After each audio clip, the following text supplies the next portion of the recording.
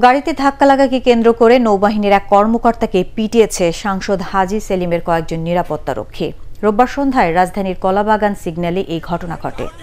ওয়াসিম নামে নৌবাহিনীর এই লেফটেন্যান্ট দাবি করেন, তার মোটর সাইকেলকে সাংসদের গাড়িটি ধাক্কা দিলে তিনি এর প্রতিবাদ করেন। এ সময় নিজের পরিচয় দেওয়ার পরেও ওই গাড়ির কয়েকজন ব্যক্তি স্ত্রী সহ তাকে মারধর করে। ধানমন্ডি থানার সহকারী উপপরিদর্শক বলেন, ওই গাড়িটি সাংসদ হাজি সেলিমের। তবে ঘটনার সময় তিনি গাড়িতে না থাকলেও তার ছেলে ও নিরাপত্তা রক্ষী ছিলেন।